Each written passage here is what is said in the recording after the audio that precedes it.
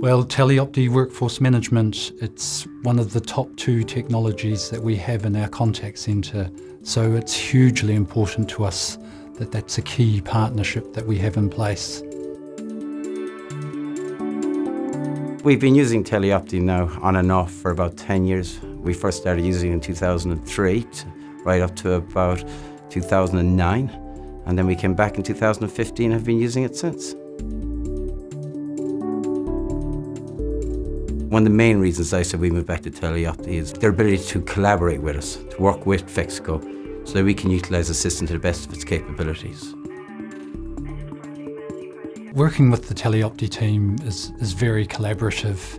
When you're making contact, they really make an effort to understand what we, we need as a customer. That's something we really value.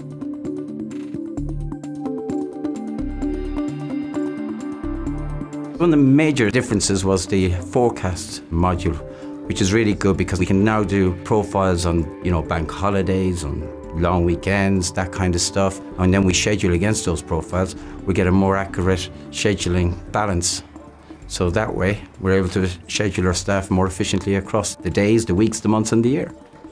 I love also the ability where there's more power to the agents, where they can now do shift swaps themselves, where they can go on, you know, on their mobile phones now, there's an app. The app is really good, where they can now actually go and see their schedules. They don't have to be ringing in, finding out what time I'm working, two weeks' time or a month's time.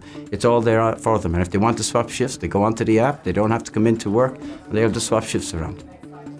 We also introduced what's called preferences, where people have the ability to preference different shift categories, whether they want an early shift or a late shift.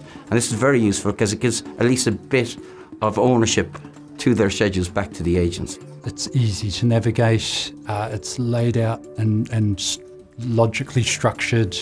The modules are very clear, so it's a very easy platform to use and great visibility. So you can work with large data sets very easily. You can take information out and work with it, and then you can bring it back in. It's a very adaptable product. What's next for us with Teleopti is moving away from an on-premise model to a cloud-based solution. And what we particularly like about that is the flexibility and scalability that it's going to give us as an outsourcer.